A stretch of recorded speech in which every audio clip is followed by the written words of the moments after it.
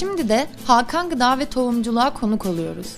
Firma 1985 yılında merhum Talip Güney ve oğulları Şenol Güney, Birol Güney ve Hakan Güney tarafından ürün gamı patates, soğan, sarımsak ve narenciye olarak Ataşehir İstanbul'da ticari faaliyetine başlamıştır.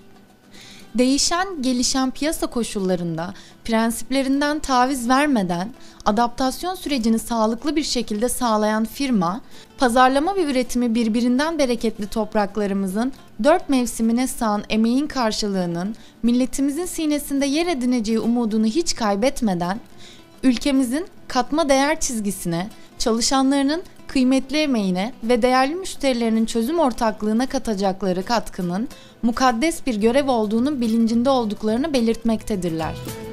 İnsanımız için değer parolasıyla çıktıkları bu yolda bereketli topraklarımızdan lezzetli sofralarınıza uzanan hikayemizi tarıma yazdık diyor ve yolculuklarına devam ediyorlar.